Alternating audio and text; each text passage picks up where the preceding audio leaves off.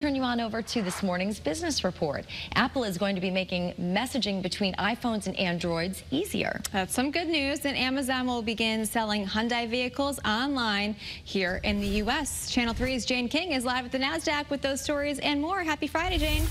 Hi, Nicole and Caitlin. Happy Friday to you. So, yes, customers will be able to shop for, equip, and buy a car on Amazon and schedule delivery through a local Hyundai dealer. This agreement is an expansion of a deal announced two years ago that will expand Hyundai's digital showroom on Amazon. Our car dealership stocks tanked after this Amazon announcement. Well, Apple plans to adopt a messaging standard that will finally bring iMessage features to Android users. The change will add features like read receipt, typing indicators, better support for group chats, and higher quality media sharing of images and videos. Well, the Dogecoin community planning to launch a physical token to the moon in December. The lunar lander will be launched by a ULA rocket scheduled to take off next month.